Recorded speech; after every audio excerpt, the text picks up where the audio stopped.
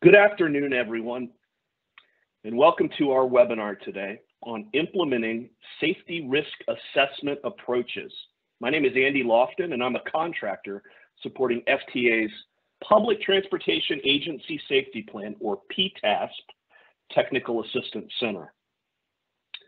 Joining me for our webinar today are Paulina Orchard, the Division Chief of FTA's Office of Safety Policy and Promotion, as well as Tamika Saunders, FTA's PTASP Implementation Program Manager.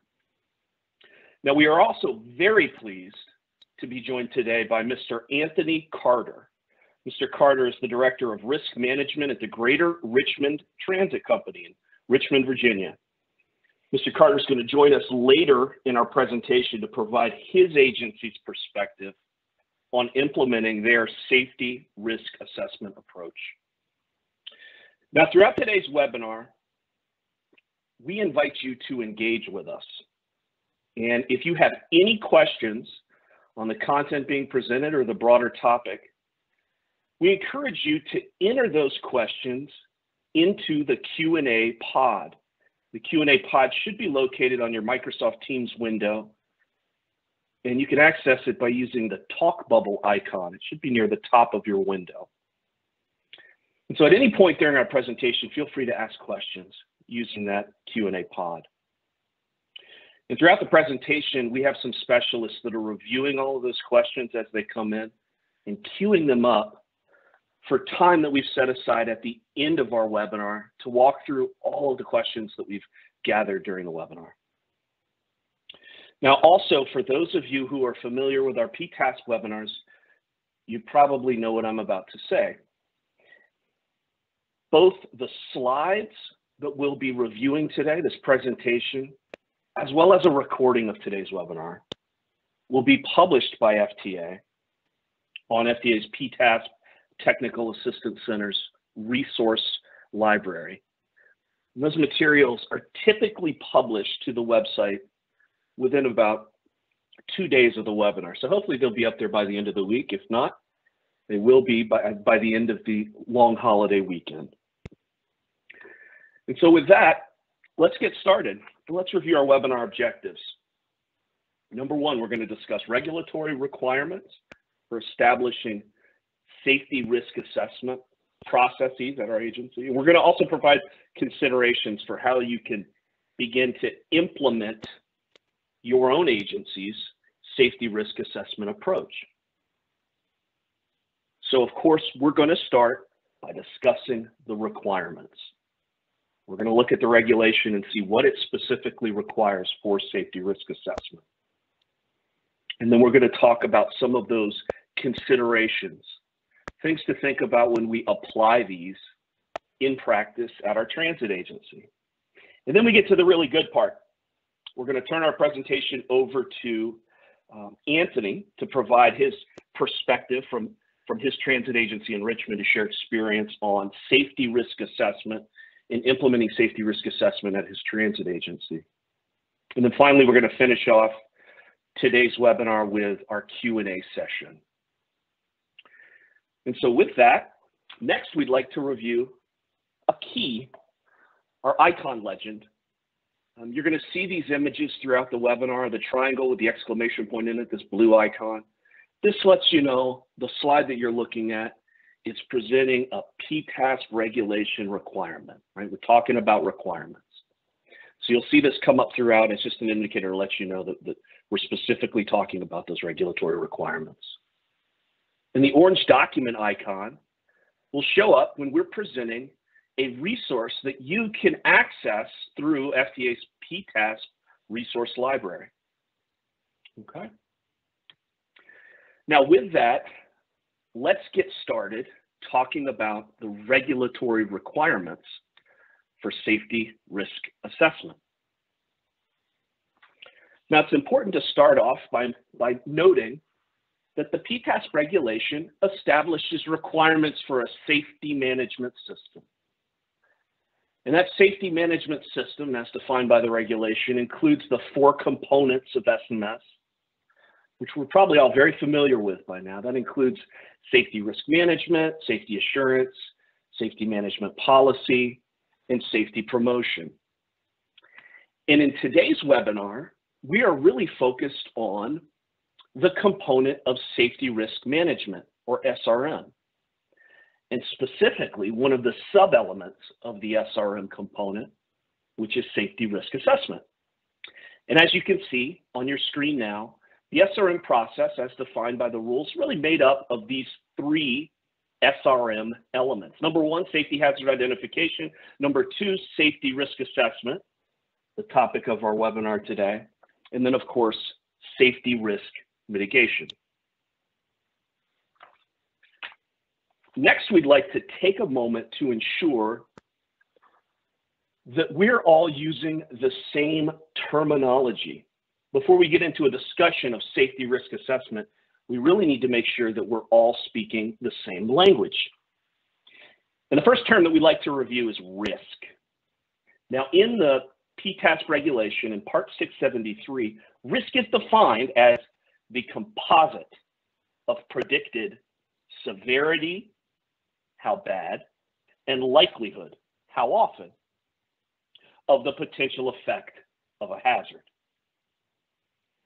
So it's really important when we think of risk as defined by Part 673 that we're thinking about risk as a unit of measure. Right? It's a combination of the measurement of severity and the measurement of likelihood. Now, this is important to focus on because historically, it may be the case that we have used this term, risk, to mean something a little bit different. We may have used risk to actually describe a, a hazard or a safety concern at our agency. For example, maybe we said something like debris that's left on the shop floor is a tripping risk. So however, in SMS, it could be very helpful to avoid using risk in this manner and instead focusing on how risk is defined in the regulation as a unit of measure, composite of predicted severity and likelihood. It's also important to note here that risk is about the future, right? And the reason that the term risk involves predicted severity and predicted likelihood, as opposed to the actual severity and the actual likelihood, is that we're prov providing our best understanding or our best prediction, our best guess, hopefully based on great available data about what could happen in the future, about how often it could happen, and about how bad it could get. So thinking about the future, thinking about what could happen, is an important part of what makes SRM, and specifically a safety risk assessment, proactive in addressing safety. And also, it's important to note that when we're assessing risk, right, under Part 673, we're not really assessing or measuring the risk of the hazard, but instead, in our safety risk assessment, we're assessing the risk of the outcome of that hazard, the effects of that hazard. And that brings us to our next term, which is hazard. Now, hazard means any real or potential condition that can cause injury, illness, or death, damage to or loss of the facilities, equipment, rolling stock, or infrastructure of a public transportation system, or damage to the environment. So what does this mean for us? Well, it means it can be real. So it can be an actual observable condition exists within our system today.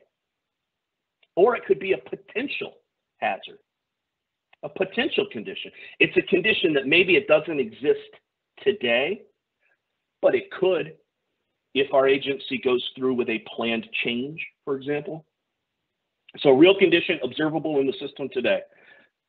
Maybe worn brakes on our buses. A potential condition perhaps could be sharp curves that are planned as part of a new transit center that's being developed. So both of those, real and potential, are, are hazards under Part 673.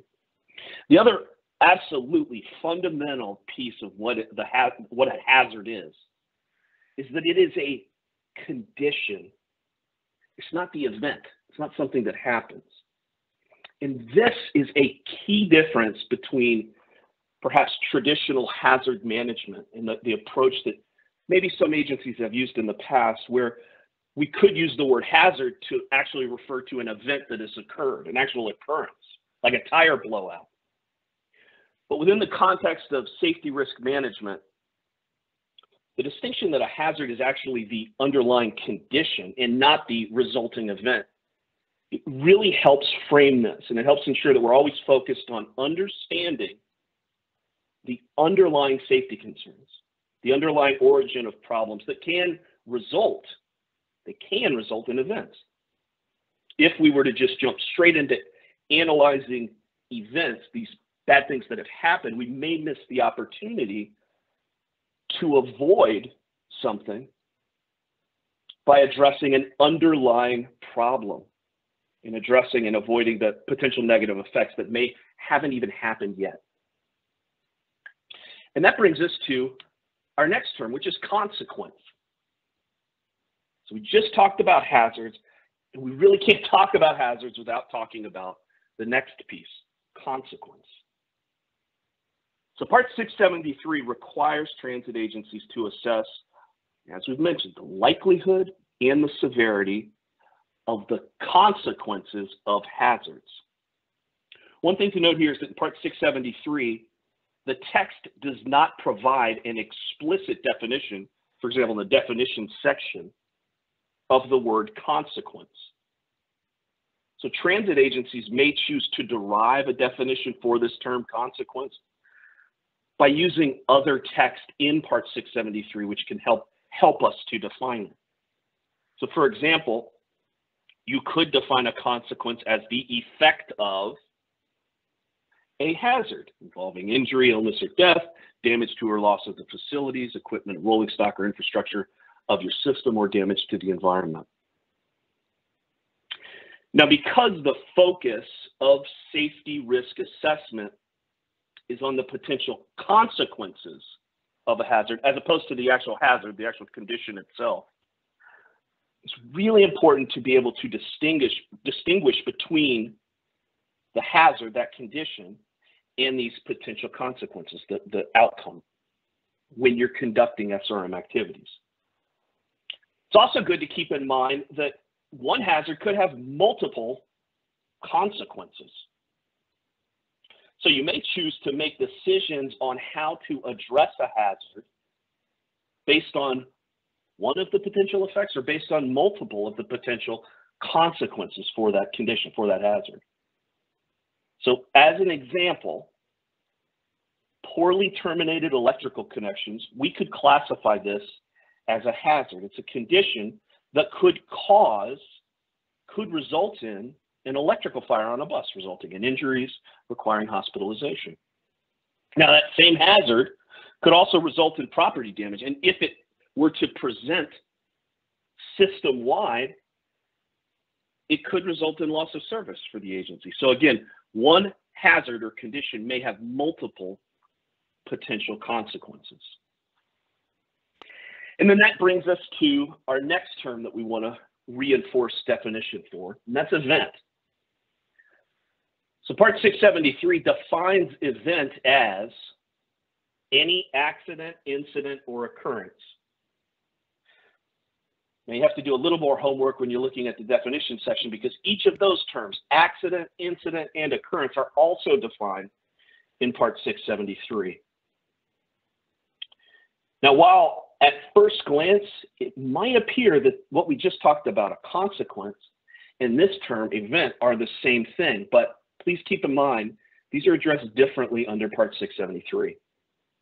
And so first of all, key difference, an event is something that's already happened.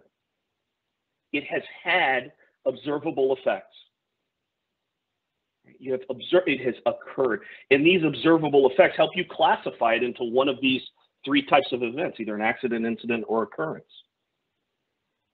Now, under FTA's safety program regulations, events may involve specific reporting requirements, and they may lead to the identification of hazards. through event investigation. So SRMs focus on the potential effects or consequences instead of focusing just on events, things that have happened. It helps us to ensure that we're not just trying to prevent that last thing that happened from happening again.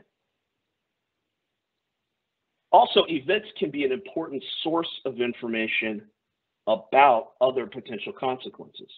But to be proactive, we really need to look beyond events to all potential consequences of a hazard. Now, I know that was a lot of information for us to get started with, and we did want to remind participants that FTA has produced and published resources on these topics to help provide more information and assistance for the industry. And the first is a hazards and consequences self-guided learning tool, which you can use to actually actively be able to distinguish between hazards and consequences. Also, we'd like to direct participants, if you have other questions, towards FTA's PTASP Bus Workshop Participant Guide. This participant guide, which is used for FTA's recent PTASP Bus Workshop, includes details on this topic, and specifically the most recent version that was published, you can refer to pages 25 through 34. So now that that's out of the way and we're all on the same page with our definitions, we'd like to take a closer look at safety risk assessment. And remember, safety risk assessment sits right here in the middle of our SRM component, nestled in between safety hazard identification and safety risk mitigation. So what is safety risk assessment? And we're talking about requirements on this slide. So this, this is what's required by the PTASP regulation. So safety risk assessment is the assessment of the likelihood and the severity of the consequences of hazards. Also, agencies should consider existing mitigations when conducting safety risk assessments. Also, now we'd like to move on to a few specific definitions within safety risk assessment to help make sure we can guide our further discussions on this topic. And there's three key terms that we want to review. Number one, likelihood. Likelihood is a predicted measure of how often something can happen, right? How often a consequence could occur. Severity. How bad could it be, right? How bad could a consequence be if it occurs? And then safety risk. The combined measure of this predicted likelihood and predicted severity of the potential effect of a hazard.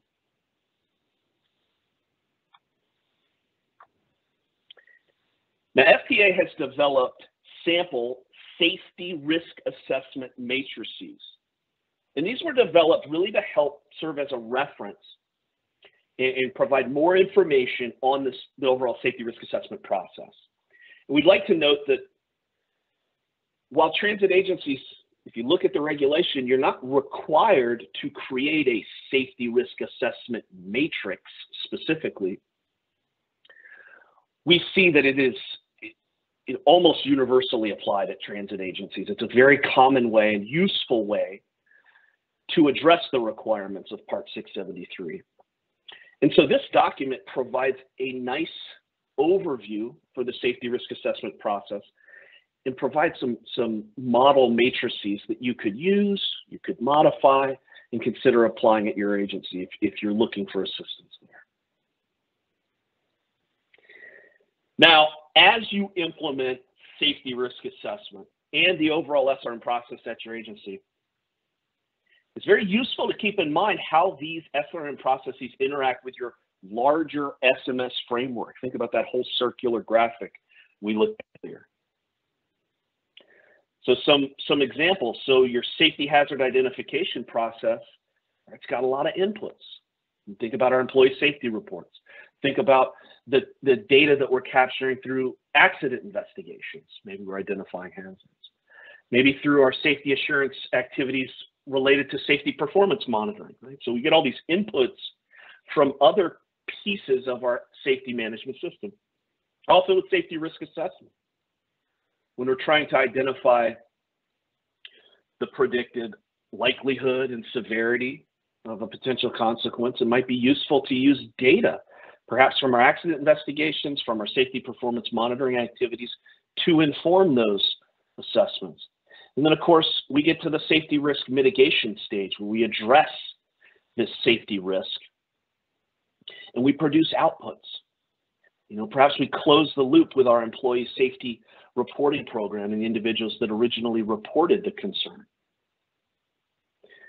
Now we have outputs, we have mitigations that we need to monitor, implement, and then monitor the effectiveness of. So everything we're doing in SMS is having inputs and or outputs that are driving other components of our safety management system.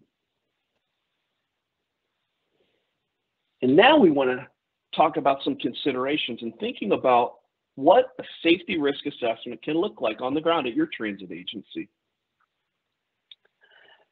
Now, at its most fundamental, bare bones, safety risk assessment takes the potential consequences that are identified during that safety hazard identification step and then assigns the potential consequence a likelihood rating and a severity rating.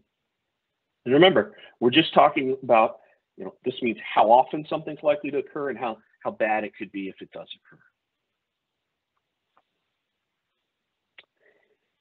Now, the reality is that most transit agencies are going to identify a large number of hazards. And this means that in some cases, the agency may decide not to apply safety resources to formally assess every hazard and its potential consequences. And it might be that an agency selects which hazards make their way through the formal safety risk assessment process. So in such a situation, agencies may assign the authority, accountability, and responsibility for determining which of these hazards are going to move through the formal safety risk assessment process.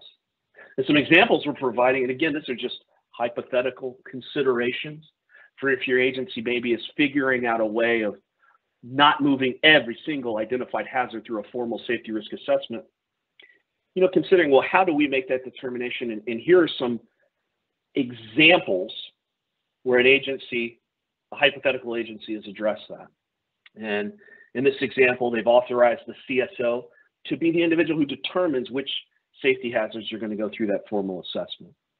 They've they've held the accountable executive accountable for the decisions that that CSO makes in determining which which hazards are going to go through the formal process. And then they allow the CSO to assign responsibility for determining which safety hazards to assess to specific subject matter experts throughout the agency leveraging engineering staff, for example, to determine whether or not engineering related hazards need to go through the formal safety risk assessment.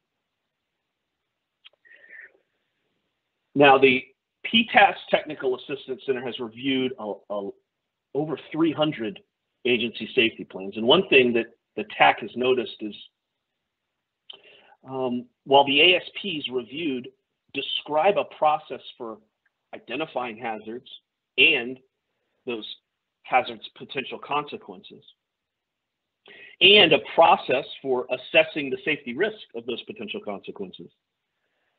Some agencies have not described the linkage between those two things, right? How the agency moves from this identification stage, identifying the hazard and the consequences, and then moves it into the safety risk assessment phase of SRM. Now, some agencies choose to use a safety risk register to manage this and to document all of their SRM activities.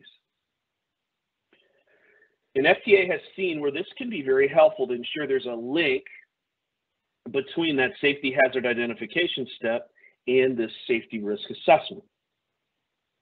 As I mentioned to you earlier, FTA's sample safety risk assessment register and the accompanying guide um, can provide more information on safety risk registers and examples that you can apply at your agency.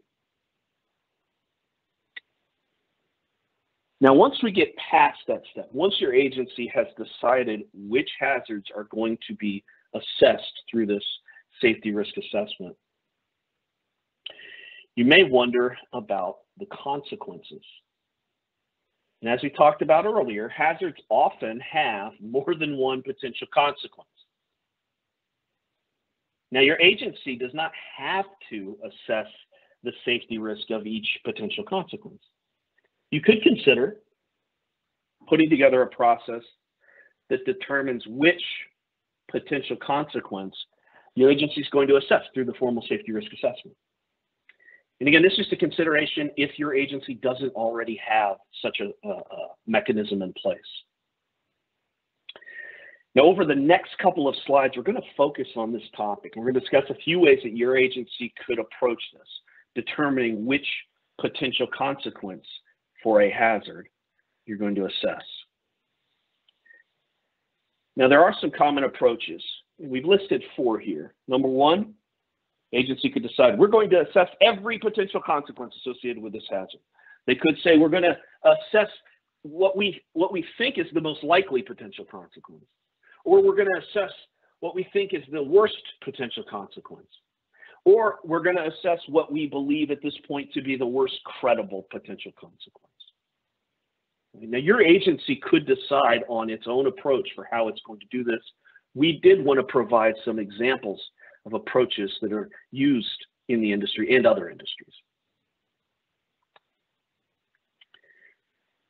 And we'd like to explore this a little bit further by using an example. And please keep in mind this is a hypothetical example we've put together to illustrate how A, hazards can have multiple potential consequences, and B, agencies can focus on all or one or multiple potential consequences for a formal safety risk assessment. All right, so in our example, we have a hazard, and it's a bus, bus misalignment over a maintenance pit. And in this example, the agency's identified three potential consequences. One, bus falls into the pit and there's and results in structural damage. Number two is that there's a worker injury um, resulting into this um, bus fall into the pit. And number three is that there's actually a worker fatality. Now, with those three potential consequences, your agency could choose to assess the safety risk of all of them. Right, looking at all three, assessing the safety risk of, of um, sustaining structural damage from a bus falling into a pit, of worker injury related to a bus falling into a pit, or a worker fatality from a bus falling into a pit. Your agency, on the other hand, may decide to choose um, to assess the safety risk of the most likely potential consequence. So in this example, the agency has determined that the structural damage potential consequence is the most likely based on their current understanding. And they may use any historical data related to this hazard to be able to make a determination. Again, this is happening before the formal safety risk assessment.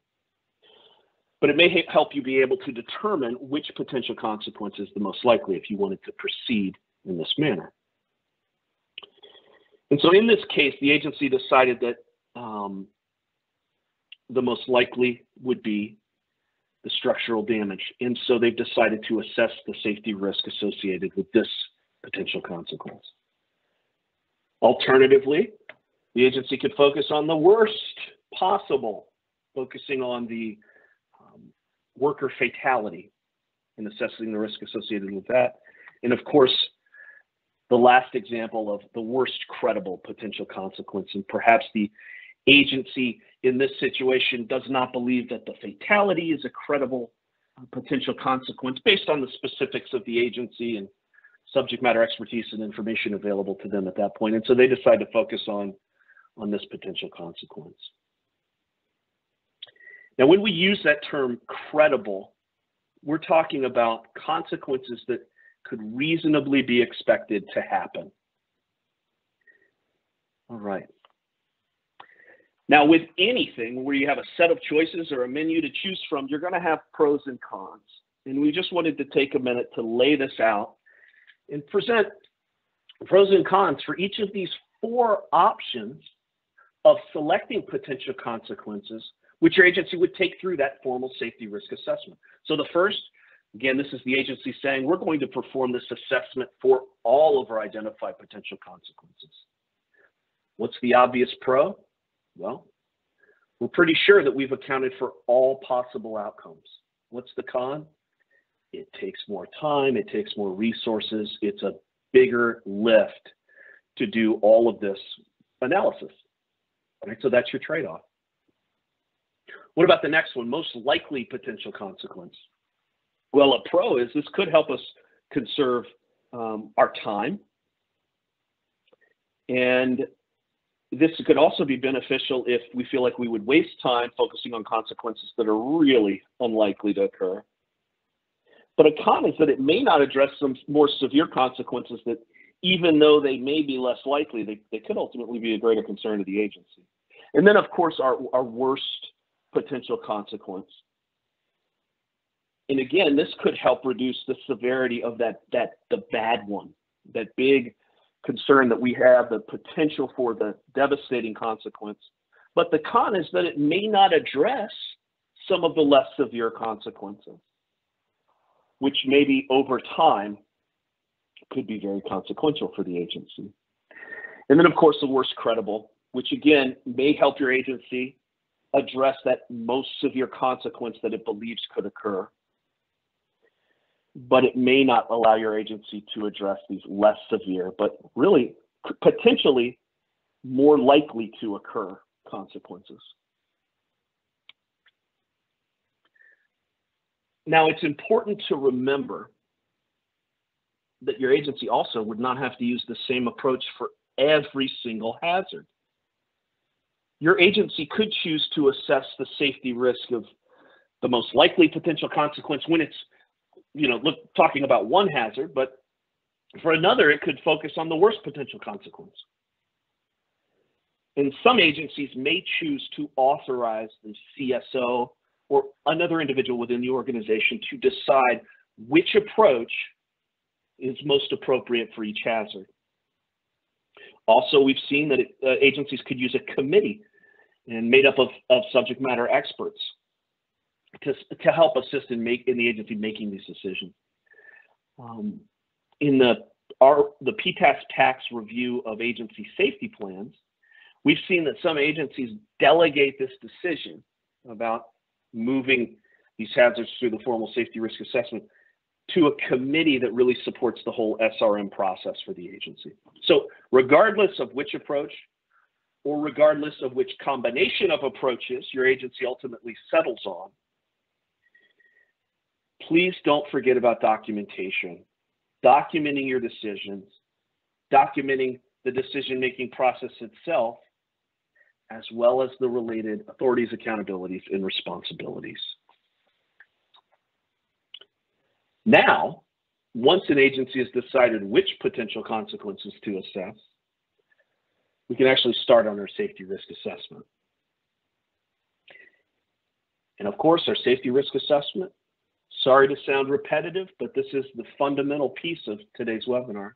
Remember that our safety risk assessment is about determining the likelihood and the severity of the potential consequence. And also, um, your, your ASP already should outline your agency's process for doing this.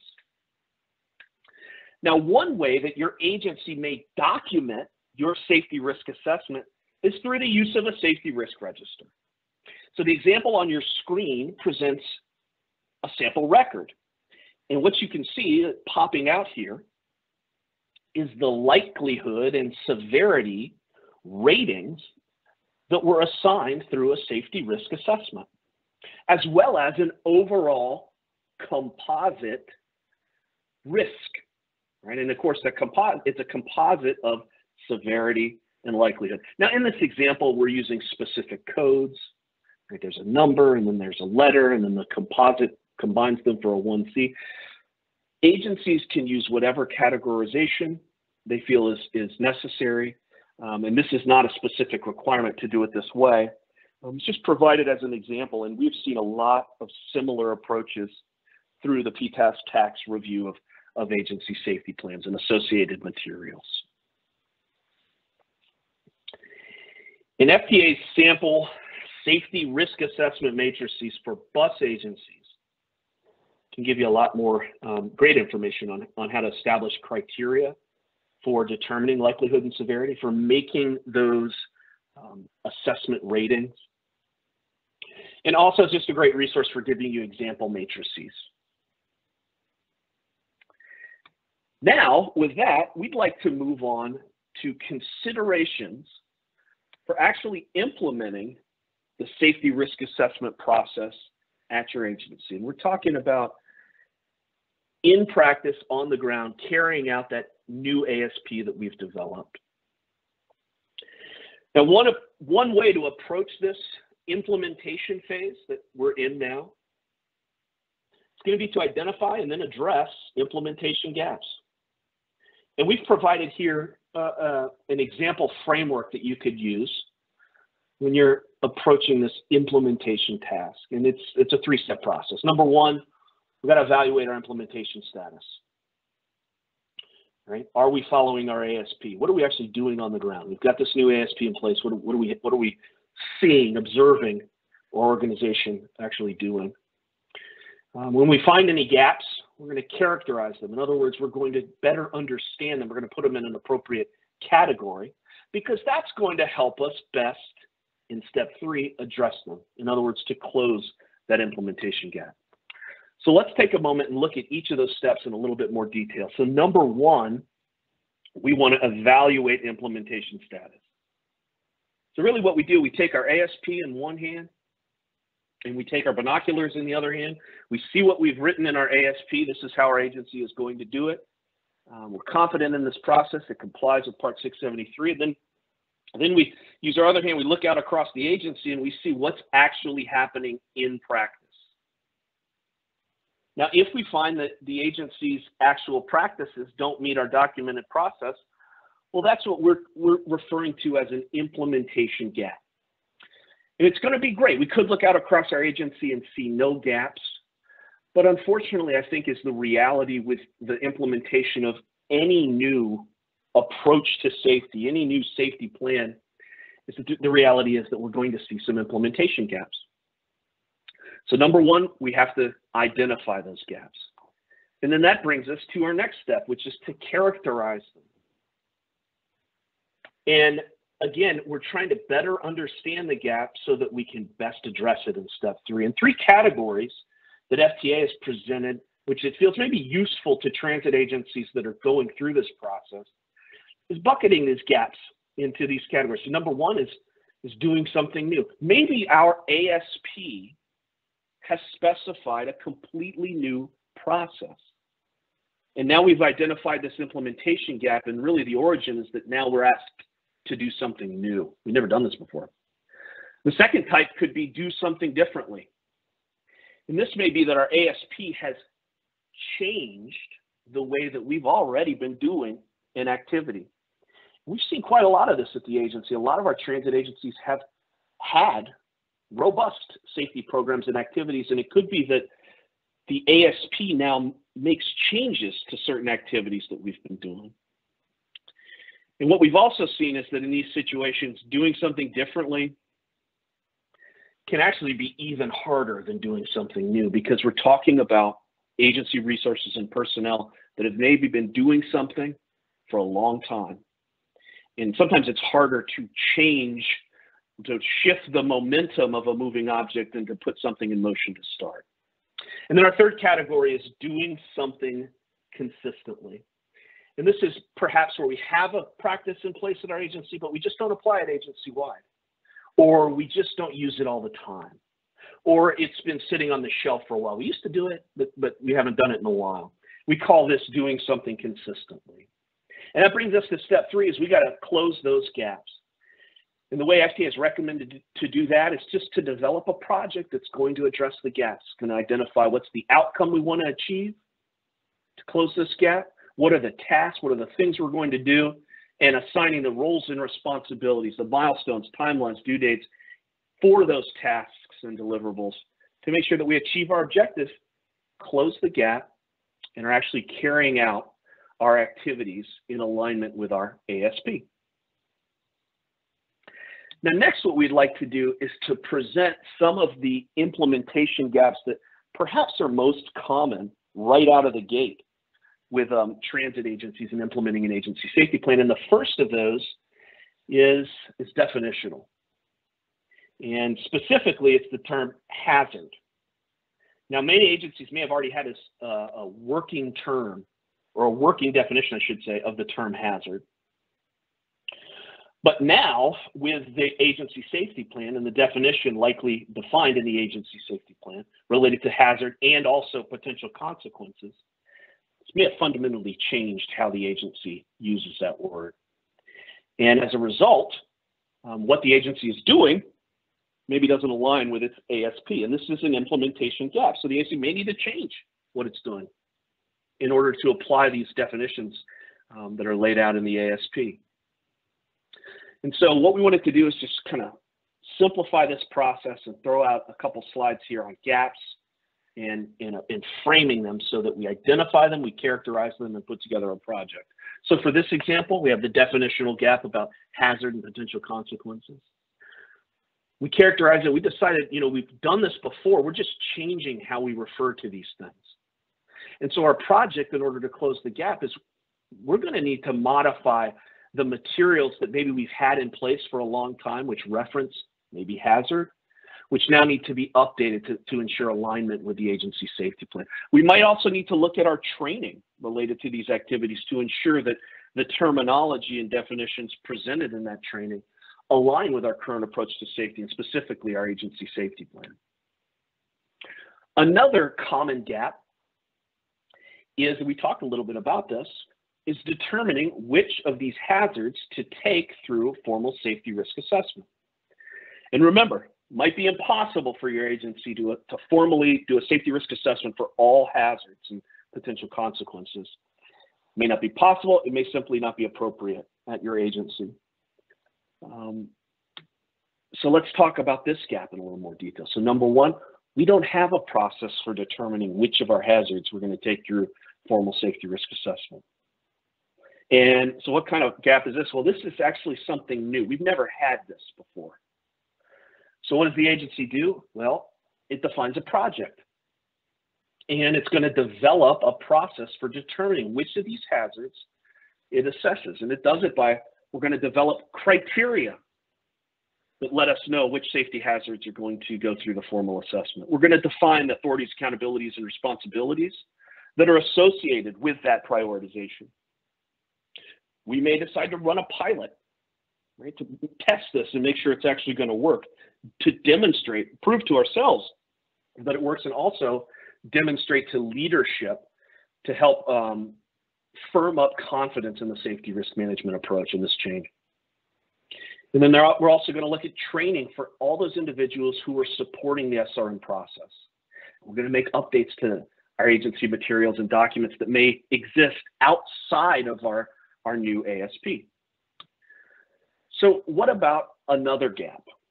And another common gap that we flagged is consistent documentation. So some agencies may have conducted safety risk assessment activities or other hazard related activities before Part 673 came along.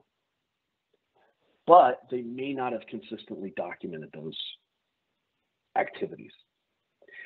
And so agencies may need to work to ensure that now under PTASP and according to their agency safety plan is that they're consistently documenting their safety risk assessment activities. All right, so what is this gap? Well, we have that we're not consistently documenting the outcomes of our safety risk assessments. What, what kind of, of gap is this? Well, you know, we, we used to do this sometimes, we just don't always do it. So this is doing something consistently. And our project that we're going to develop for this is the agency thinks about it and decides they're going to provide training for those individuals that are now supporting the safety risk management process. And they're going to look at all the agency materials that currently exist, all of the documentation that supports the SRM activities, and they're, they're going to update them to make sure that they work with the new SRM processes. And this, this agency decides to task its chief safety officer to perform regular compliance audits to make sure now, you know, we've got this new process, we've got folks trained, and, and the compliance audits are going to ensure that the process is being followed by the agency. So again, just wanted to share some of those common gaps, and maybe your agencies are seeing similar realities on the ground as you begin to implement your agency safety plan. So with that, we actually are moving to the best part of today's webinar, and that is where we get our industry participation. And we are lucky to have with us today Mr. Anthony T. Carter Jr. Mr. Carter joined GRTC in 2015 in Richmond, Virginia, as the director of the Risk Management Safety and Training Office. And in this role, he's responsible for overseeing claims handling process. His claims include bodily injury, workers' compensation, property damage claims, and others that are presented against GRTC. You know, he's also responsible for creating and implementing safety policies and procedures for the agency and making sure that the agency stays within compliance for all safety rules and regulations. He serves as the agency's safety plan's chief safety officer, and he's responsible for the training of all new hires at the agency as well as seasoned employees to make sure everyone has the proper educational resources to keep them safe and successful. Prior to joining GRTC in 2015, Mr. Carter was a senior insurance fraud investigator with Century Insurance. He was responsible for reviewing and investigating large commercial transportation losses, and also responsible for reviewing and updating the investigative procedures of the claims process and leading training sessions for what to look for when identifying fraudulent activity in large losses. Additionally, he was focused on identifying safety issues and violations that could create large claims for certain clients that the company insured. Mr. Carter holds an MBA from Walden University and an undergraduate degree from Virginia State University. Mr. Carter, welcome.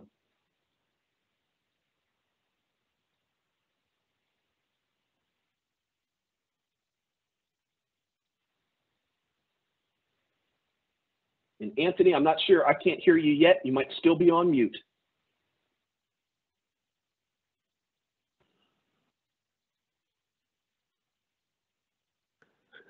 Okay, I think I'm coming out now. Loud and clear. Thank you very much. Okay.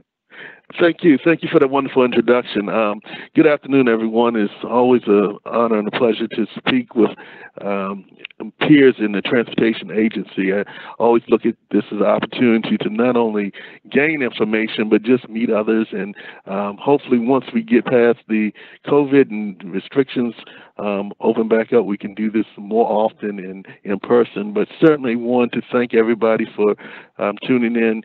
GRTC Safety Risk Management and uh, risk assessment when it comes to our agency safety plan.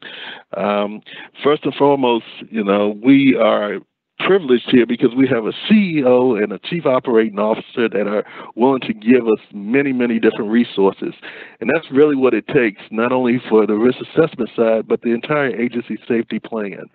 Um, some of the characteristics of this company um, not going to certainly not going to read all of this, but um, it, as you may see, we've been around since 1860. Um, this public transit system known as GRTC Transit System today. We operated during the Civil War for over 150 years um, and only were shut down one time, and that was actually during the Civil War, which is crazy when you think about it. We are one of the oldest transit agencies in the country. Um, and like I said, I'm not going to read all this, but a lot of the, the, the, characteristics of us, we give certain services, our bus rapid transit service, which is a new mode of transportation that we just recently opened, um, RideFinders and specialized transit transportation. We um, transport in Richmond, Virginia, Chesterfield and Henrico counties, um, which are the surrounding counties around the Richmond area, but primarily we're in the city of Richmond. Um, so far as our actual safety risk assessment, and please understand, um, these are not anything that FTA or any guidelines that I give today. This, this is what works for our agency. Um, this is things that we have come up with that we found just works for the entire company as a whole when it comes to our agency safety plan. Starting off, as we're able to discuss, when putting the risk assessment process in place, it was determined that many characteristics required to make this plan successful were already implemented and we touched on that early in the presentation. A lot of things that you're you're going to find that work for your company according to your agency safety plan, you already have in place. It's just a matter of tweaking them. It's just a matter of tightening up on the documentation. It's just a matter of seeing them all the way out. Um, we were able to find a lot of programs and safety-related programs and trainings that we had been re- that we had been already using and we just needed to tweet them or, or turn a little bit around to make them compliant or compliant with our safety agency plan. Um, areas that we identified that needed improvement were documentation. And, you know, you're going to find that, I'm sure, across a lot of the transit agencies that your documentation, yes, there, but being able to document things to the actual end of the project. We touched earlier about the projects. When you're assessing risk, and when you're assessing and you're getting these actual hazards that are being reported in, yeah, you're documenting them, and then it's sort of the follow-up sort of falls falls along the wayside, and there's no documentation. You come up with a plan on how you're going to correct that, but there's no documentation on what you actually did or who actually saw that out. And that's where the risk register comes in. And the risk register has really helped us. And basically, what we do is we document from beginning to end. Once the actual risk has been uh, reported, and that's reported through a number of different ways that we were able to set up uh, through the technology side of, our company with the email. We have a safety email, we have a safety hotline, we have, uh, you know, a, a, hotline that you can actually call anonymous, anonymously um, and just leave information that people have seen. We have dispatch, we have operators that are calling in every time they see something and then the dispatcher or supervisor will report it to our safety coordinator, which is a big part of our agency safety plan. And then we're actually turn that over to the safety matter experts. Now, when we have the safety matter expert committee meetings, we're assessing everything. And some of those things, some of the hazards that we're identifying or some of the risks that we're identifying, we don't actually take through the entire process. Some of those things we can, depending on what the consequence we feel what the consequences is going to be, we can handle it right there and there, and we don't even have to have a meeting on it to take it through the entire process. Then there are other uh, risks or hazards that we identify that are going to need additional resources. And depending on the amount of resources that you need, may have to go up higher on the executive level. Um, as I stated earlier, we're lucky enough to have a CEO and a chief operating officer who's willing to put a lot of resources into this uh, safety management plan and they want to see our employees as well as our customers as safe as possible. So I have an open line to my CEO anytime something comes up of that nature where I have to elevate it to that level. Um, that gets number one priority, and we put a lot of resources in right away to um, correct that issue. So far as the safety matter experts, um, they are uh, originating from all across the company. Um, we have transportation, we have maintenance, we have compliance, we have facilities, we have road supervisors, we have planning, we have human resources. We have a committee that is put together of different um, individuals that are experts in their department and they come together and we meet and we discuss it. Right now, our schedule is every other week we have a meeting. If we have an actual situation that comes up, that may require us to have a immediate meeting or emergency meeting because we have to have this uh, uh, assessed or have to have this risk assessed right away, that's not a problem either. We call a quick meeting. Usually, in those situations, um, my my boss, our chief operating officer, will be involved in that as well, and we discuss that and we put in whatever resources we need to get that corrected. And that's a matter of documenting it on the actual risk register as well as assessing it. Um, as we touched on earlier, we have an assessment of the likelihood and the severity of it, and it's color coded, and it's uh, one, two, three, ABC, and that's the actual code that we put in place. Of course, um, 1A is the most uh, severe risk, and that's colored in red. But it's different ways of uh, of assessing that, and that depends on what you're comfortable with as the head of your agency safety plan and what your company feels is successful. You certainly don't have to use those type of codings, um, but that's just what works for us. And then we document it, carry on. It's assigned to the actual uh, safety matter experts that are most uh, equipped to handle those type of situations. You know, we've had situations where maintenance has come up and we've identified risks with the maintenance department and uh, the, the safety of the buses. Well, of course, our safety matter expert that's going to lead that is our representative from the maintenance department, along with safety, along with transportation, and whoever else uh, would fit into that categorization of having expertise in that matter and then we document, we assign it, we give dates, um, and all this is being documented until the completion of that actual risk being um, eliminated or some type of mitigation has come up to correct that, to move that from the most severe to the less severe status on the risk register. And we have documentation to show how we started this, even down to how it was reported, uh, what may take place, what may not take place, who's assigned to it, how it's being handled, and when it will be completed, as as we touched on earlier.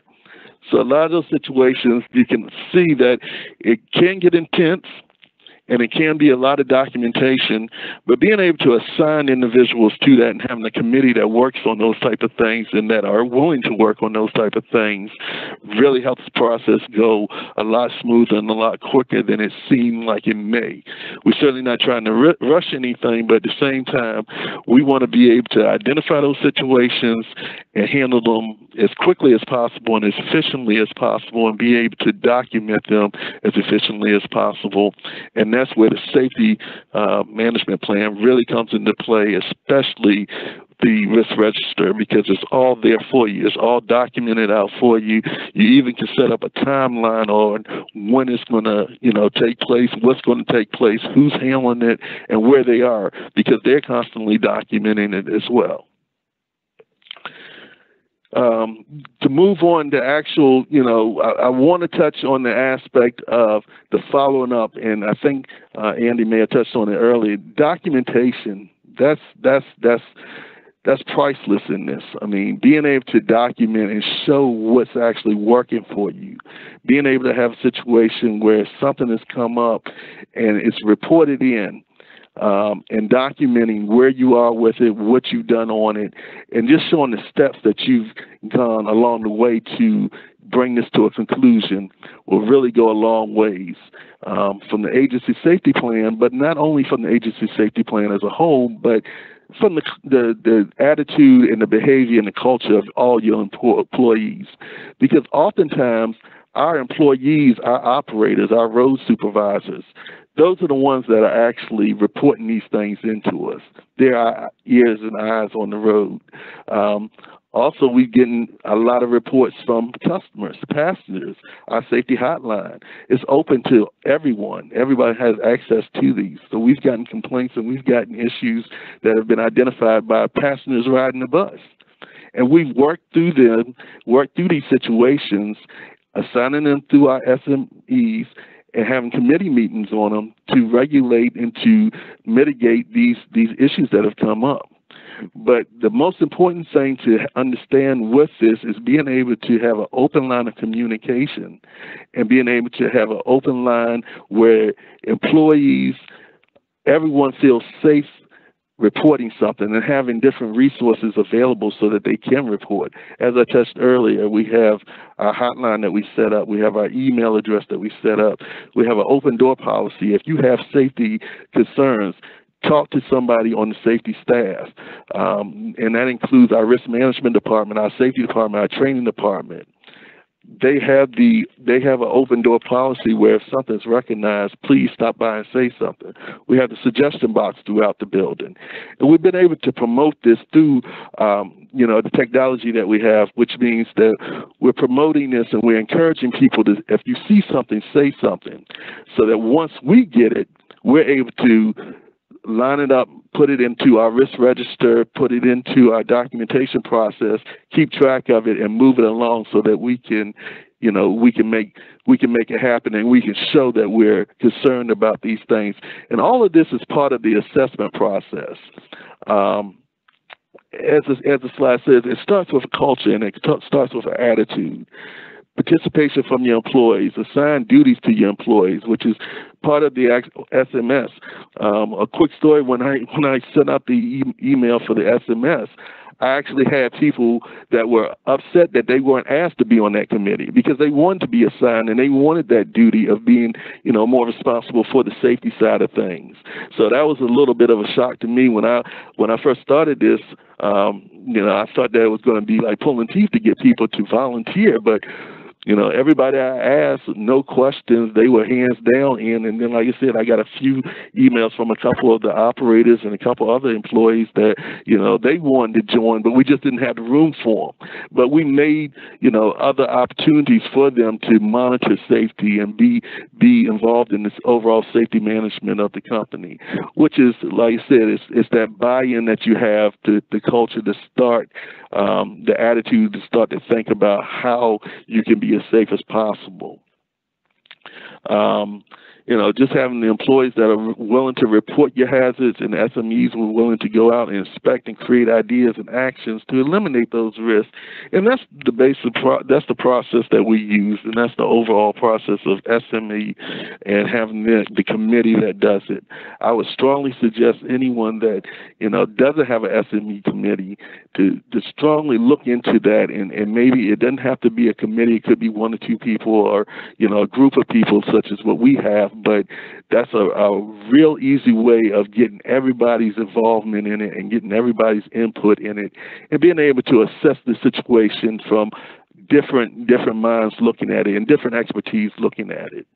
Um, being able to have everybody's involvement is going to make a better outcome when you're trying to assess your, your risks that have been reported in and you're trying to um, document because you ultimately you have to have more than one peop, one more than one person involved on this. Um, it certainly can't be something that the S, the CSO is assigned to. Um, just speaking for myself, I am the chief safety officer for the agency safety plan. But as I stated before, I have a team that does wonders um, with this, and they they hit the ground running, and we're more than happy to do anything that was needed to keep the overall um, safety of, of, of the employees at GRTC number one priority. Um, I also encourage if you have the resources to reach out to a consultant for this safety management plan. You may not use the services or their services, but at least talk to them and get some ideas. We were able to um, use Reem Lazaro. He was excellent in trying to get us up and running, and he was the one that really came and looked at our overall aspect of the company from each department and he was the one that mentioned to us or looked at us. It was like some of these things you already have in place. It's just a matter of tweaking them. It's just a matter of changing them around. It's just a matter of renaming them, and that has worked wonders for us. A lot of stuff has fallen in place for us. So I, I would certainly, I would certainly. Um, encourage you if you have the resources and some some don't but if you have the resources to look into that and just get an idea from outside looking in to give you some perspective on how to how to run your safety uh, your agency safety plan Um, but as I stated, I can't, I can't, I can't mention this enough. Documentation, being able to document what you're doing from beginning to end, and the risk register is going to be the key key factor when it comes to implementing safe risk safety risk assessment. Um, no matter what you do, if it's not documented, it didn't happen. So make sure that you're once you receive those risks, once you have, have recognized the risk, being able to go through an actual register and documentation from beginning to end will make the process so much easier and you will get so many so much better results on the mitigations or the eliminations or whatever you do to to control that that risk that has been recognized. And at the end of the day, as I stated before, it's certainly about the, the attitude, the behavior, and the culture of everybody involved in it. No matter how dedicated you as a chief, uh, chief safety officer or safety manager or the director of risk management, no matter how dedicated you are to keep everybody safe, if everybody else is not buying into this and if everybody else on board is not as dedicated to, to this as you are, then that's going to be a problem. And you have to change the culture and you have to have buy in so that everybody can be as safe as possible. And with that, um, I, I didn't want to give a whole lot. I certainly didn't want to go on and on about this because we can talk about this for days. But um, I hope I gave you a few few good pointers on how to assess your your risk and how to document everything. And I'll turn it back over to I guess Andy. Thank you. Anthony, thank you so much. We really, really appreciate you giving your time to share your experience with us and the entire group. That was awesome. Thank you. And, and as a note to participants, um, if you have questions for Anthony, you can also enter those directly into the Q&A pod and we will work those into our Q&A session coming up shortly. But before we get to the Q&A session, I did want to take a moment to remind everyone about um, the PTASP Technical Assistance Center's resources that FTA has made available to the transit industry. Um, so the PTASP TAC is up and running. We, there is a um, phone line. You can reach a TAC specialist um, during normal business hours. And there's also an email address where you can email the, the PTASP TAC directly with any question related to the PTASP regulation and uh, requirements or implementation, anything like that. You can ask the PTASP TAC directly. Um, there's also links provided on the screen for the resource library of the PTASP Technical Assistance Center. And there's also links to the PTASP Community of Practice, an online forum to, uh, where agencies can share information as well as a frequently asked questions document that is updated periodically with um, obviously more frequently asked questions as the TAC processes in inquiries from the industry.